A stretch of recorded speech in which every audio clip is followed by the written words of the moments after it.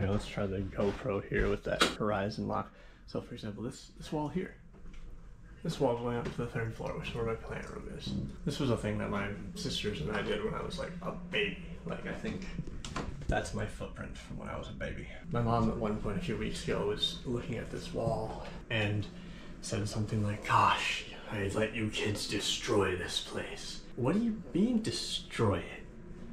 What about this makes this wall any less functional as a wall or any like, what detriment did it cause? It's something that was a great little memory and a fun time that we had. We could have done it again and again and again, and just covered the wall again and again, and just whited it out and covered it again. But a- you know, like we're taught not to do that, and I don't know why.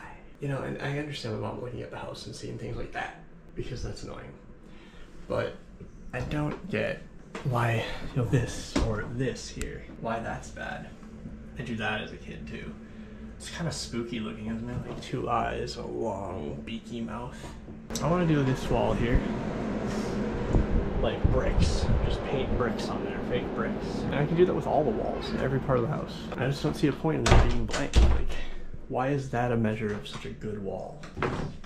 What's, what's this wall doing that this wall isn't doing? Nothing. Nothing at all. It doesn't even look good while doing nothing. I just don't get it, man.